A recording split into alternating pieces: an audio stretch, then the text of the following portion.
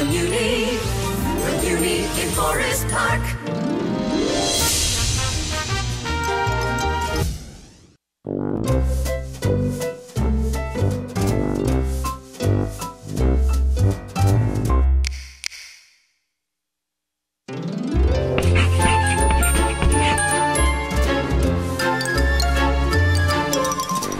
I think the best part's opening night because everything actually comes together even if you didn't think it was going to previously.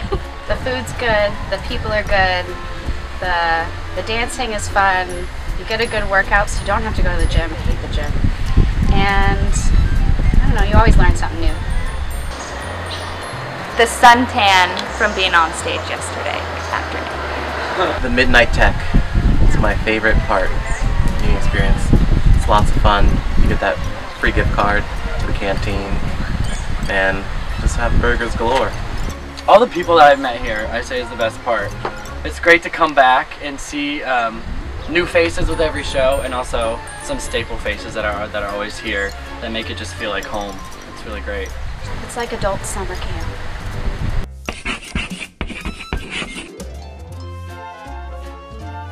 I'd probably be something like a, a haunted house or a like Disney Imagineer or something where it, it still revolves around creativity and stuff, but that stuff kind of fascinates me.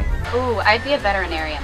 Ideally, I would go back to Correzu when the theater teacher there retires and take over the theater department, and hopefully they'd have a, my perfect world, they'd have a math opening too, and I could teach algebra one and two. I love animals. Um, I would be a dentist. Not crazy about needles, but I love animals. I would probably be an investment banker. I would go to culinary school and cook. I would grow up and be very fat and very happy. I would like that. I'm not really good with math, but I think that might be ideal.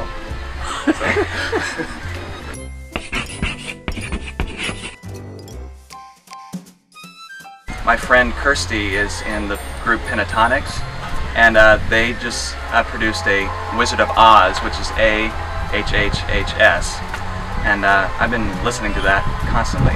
Young and Beautiful by Lana Del Rey. Anything that's really good to run to. I listen to the radio. Anything about surviving, because I need help when I run. In Chicago, 96.3, B96. A lot of pop. All the single ladies. The XX. I like a lot of just like ambient techno music. You know, it's relaxing to me. Not really very many show tunes. I can't really run to show tunes. A lot of Mary Poppins, actually. Trying to learn this show. You get more uh, than a run.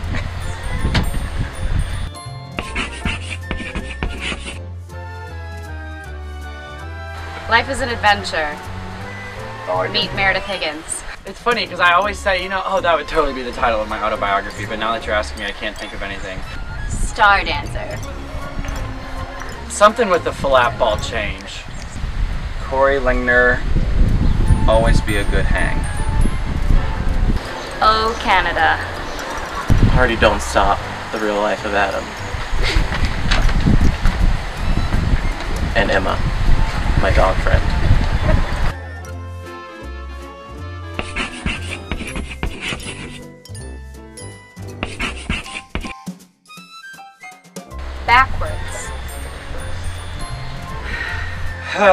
um, shoot. Can I phone a friend? S U O I D S U O I see. S O U I C Oh my gosh, I don't think I can go past that point. I E Nope. D A I L. Nope. D A I L This is not gonna happen. A I P I can barely spell, spell it forwards. You know, I struggled enough to learn how to spell it regularly. There's a G in there. A R F I L A C R E P U S. I L A C R E P U S. No? Did I, did I get it wrong? I got nothing.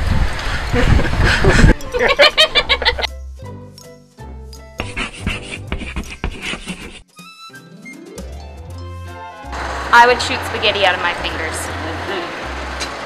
Well, I would say flying, but that that seems like a cop out now. I would solve world hunger. One plate of spaghetti at a time. At the moment, I would like to be able to have like a shield of, of bug protecting powers because I have been getting eaten alive here the past few days. That would be a very convenient superpower for me right now. I would have to choose the power of Storm from X-Men so I can change the weather. It's always 75 and a slight overcast. It would be teleportation. Move from one place to another.